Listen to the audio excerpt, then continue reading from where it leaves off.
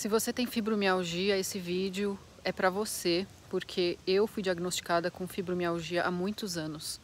Só que me indicaram tomar antidepressivo ao longo do tempo para que evitasse sentir a dor.